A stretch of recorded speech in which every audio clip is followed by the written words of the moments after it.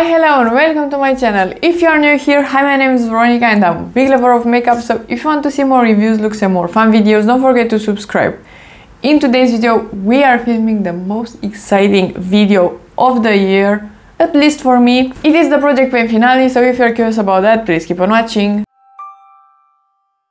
I am very excited. I have some great updates and yes, I know that in the back we have a gnome and then some flowers. But that is only because I just did these flowers. They are Lego flowers and they are so beautiful. It was so fun.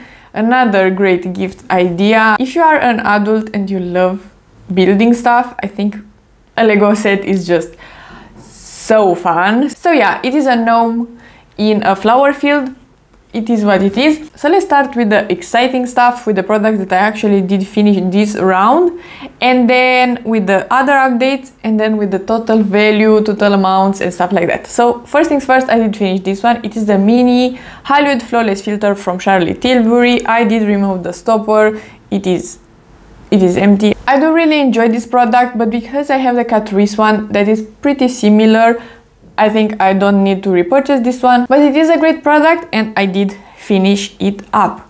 Another one that maybe I could use two, three, four more times, but it's actually really old and as you can see, it is, it is done. I'm calling this one done.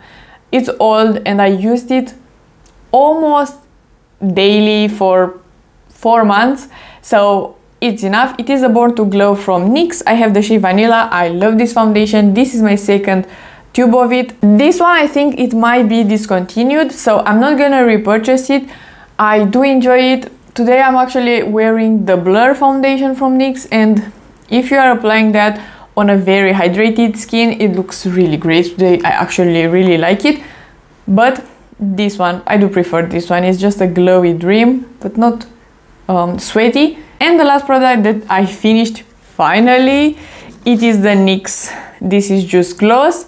I did remove the stopper and that was a mistake really because I still had a bit too much product and it leaked everywhere. So yeah, I do recommend you to remove the stopper at the very, very last or don't even bother don't remove the stopper because it will create just a mess and my applicator broke. For real. So uh, yeah this is done. As you can see it is empty. And I did enjoy it. It took me five months or six to finish this one up. It is a really good product overall and you get a really really good amount. Let's talk about other products that I didn't finish. This one I am so close Look at it. It is the Melt Cream Blush Light in the shade Sundown. This will be for sure in the next year's project pan. I will finish it in probably one month or two at maximum and I will be very very happy with this empty. And for this one I used it 12 more times um, this month and a half. Uh, for the next year I'm not gonna count the usage, I'm just gonna film some close-ups. For the concealer, I did use it a bunch. I don't think you can see clearly a big progress, but I do enjoy this concealer. It is great, but I prefer the, the Natasha Denona one. It's just a bit more hydrating and this is more like a gel type of consistency. It is a great concealer, but I feel like the, um, the Natasha Denona one has just a bit more coverage, but this is great as well, so I did really enjoy it. Then for the highlighter, I have a giant, absolutely giant pen on it. I really want to finish it in the next year. It is a great highlighter. It is from Wet n Wild. The packaging is just a mess. I really need to finish this one, it is the shade Blossom Glow. Great highlighter and I did use it a bunch, but I just want to finish it up. The LYS powder, I just love it right now in this particular moment. It is for sure my favorite pressed powder and I used it some days I use this one alone, which is absolutely unusual for me. I always use the Huda Beauty one, at least under my eyes. But for a no makeup makeup, I did use this one and it was lovely. I need to recommend it. It's a really good quality powder and it is, like I said, very thin, doesn't emphasize texture or stuff like that. It is mattifying, but it is as well very, very thin. So you will not have a cakey foundation situation. It will look just great. For bronzer, I have the Essence Sun Club Matte Bronzing Powder and I use this one like crazy. I have it on my skin today. I love it. It is a great product. This packaging is absolutely trash. If you are on a budget, I I still think this is one of the best powder bronzers and it is very comparable to high-end but this packaging is for sure not but the formula is absolutely absolutely amazing. So I do enjoy it and I will finish it up. Next for the lipstick I have the Lisa Eldridge lipstick on the project pan and I put a goal of 20 and last month in October I used it 8 times and I am wearing today and this is my 11th use. So I need just one more use. I will for sure use it tomorrow or whatever. I will use this one one more time. It is a beautiful lipstick sadly it is broken because i was i was uh, twisting it too much. It is an amazing formula. This packaging it is 11 out of 10 i really enjoy it. So i am happy that i put this one in the project pan and lastly i have a palette and i didn't do that much uh, progress on it. It's just i for eyeshadow is so hard because i just i just love mixing and matching. Today I'm wearing two palettes. I I almost never use just one palette. It's just it is what it is. And I have these two shades in here. This one and this one in the project pan. And I did use them. I used this palette a bit, but didn't hit pan on anything. So let me show you all the products that I finished this year and I'm gonna put the price for all of these down below. The prices are just from Romania, so approximately what I paid for them. So let's start. For primers, I did finish this one. This is the Ole Henriksen Banana Primer. Then my favorite one, the Hello Good Stuff.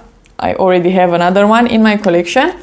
And this one that I just finished, the Charlotte Tilbury Hollywood Flawless Filter. So three three um, primers in the project pan. For foundation, I finished three as well. I finished the Born to Glow that I just finished, the Beautiful Skin from uh, Charlotte Tilbury, and the Fenty Beauty Eaze Drop Blur, the liquid one, because right now I have the stick. So three foundations as well. For concealer, I finished three as well.